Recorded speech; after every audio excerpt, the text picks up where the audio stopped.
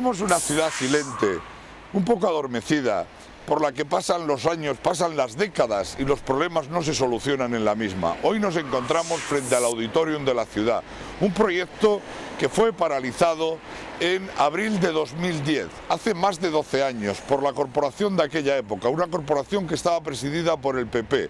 Quizás las circunstancias obligaron a ello. Un presupuesto mal calculado, donde hubo un exceso de obra, una crisis económica sobrevenida como fue la del 2010 que obligó a los ayuntamientos a tener que reducir su endeudamiento una u otra circunstancia, o las dos, llevó a la paralización de las obras del Teatro Auditorium. Un teatro ambicioso como infraestructura cultural para la ciudad. Y 12 años después, va a ser casi 13, el Auditorium sigue estando en el mismo sitio, en él se invirtieron 15 millones de euros y no hemos sacado rentabilidad alguna a la misma porque mm, al revés, cada día que pasa su deterioro es mayor. Es verdad que esta ciudad no adolece de eh, actividades culturales, son muchas las que se celebran en la misma a lo largo de todo el año, pero se celebran en la calle. Podemos ver cómo el Prado, la Plaza de la Constitución, la Puerta de Toledo, la Plaza Mayor, etcétera, está llena de actividades culturales. Es una ciudad prolífica en actividades, pero son actividades con otro perfil totalmente distinto.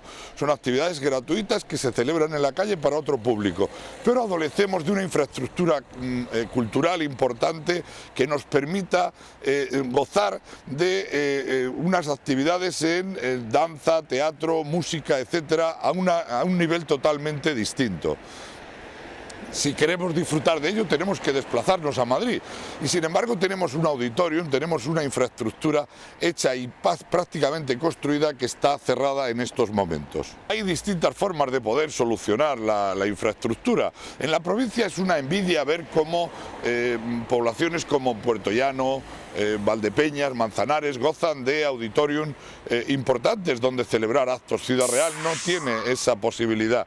Quizás porque el ayuntamiento fue demasiado ambicioso y él solo pretendió sacar adelante la infraestructura sin colaboración de otras administraciones.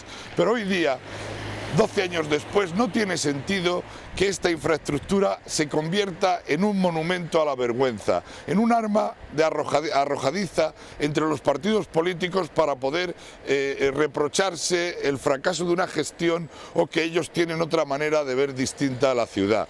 La infraestructura está aquí, la inversión está realizada y no tiene sentido que continúe la lucha entre los distintos partidos para que no se termine de completar la, la misma. Hay varias formas de poder hacerlo, o bien el ayuntamiento contempla en sus presupuestos la partida correspondiente para finalizarla, o bien se pide ayuda a otras instituciones culturales de la propia comunidad. Eh, acabamos de ver un reciente ejemplo en otro edificio de la ciudad, con menos valor y con menos importancia quizás desde el punto de vista de la vida cultural, que ha sido totalmente comprado por la Junta y que va a ser rehabilitado por la misma. O también cabe la posibilidad de que el ayuntamiento lance un concurso que sea una empresa privada quien a través de una concesión se quede con el edificio y termine de gestionarlo para ponerlo en valor y que podamos tener los habitantes eh, de la capital esta infraestructura al servicio de todos. Una infraestructura de estas características es también una pequeña locomotora. Ustedes piensen que cada vez que en él se celebre una actividad de danza, música, teatro, etcétera, de calidad, eh, que se llene el auditorio con esas 1.500 o 2.000 personas, se está mm, revitalizando la vida económica de la ciudad, porque vendrá gente de toda la provincia, vendrá gente de otros lugares a ver el espectáculo y cada vez que se produce ese lleno, se activa el comercio, se activa el transporte, se activan los hosteleros, se activan los hoteles, etcétera. ¿no? Es decir, es una pequeña locomotora también para dinamizar la vida de la ciudad. Por tanto, ha llegado la hora, ha llegado el momento de que los ciudadanos dejemos de ser eh, eh, silentes, dejemos de estar adormecidos y reivindiquemos lo que es necesario para la ciudad. Y una infraestructura cultural, lo mismo que una infraestructura deportiva, son necesarias para la vida de la ciudad. De cara a las próximas elecciones es importante que los partidos se posicionen y decidan de una vez si lo que quieren es mantener el edificio en ruina tal y conforme está se está deteriorando día a día o por el contrario lo que quieren es terminar de construirlo para que podamos tener actividades culturales. Que ellos decidan, pero que decidan una u otra. Lo que no puede ser es que tengamos 15 millones de euros invertidos con impuesto de todos los ciudadanos aquí en cemento y hormigón sin rentabilidad ninguna y la ciudad muera ¿eh? de envidia por el auditorium que tienen otros pueblos de la región.